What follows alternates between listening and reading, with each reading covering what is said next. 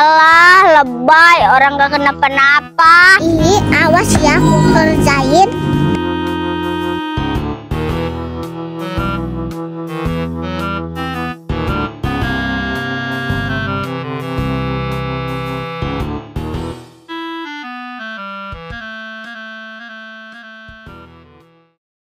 Ini kan buah naga, jadi nggak dijailin lagi.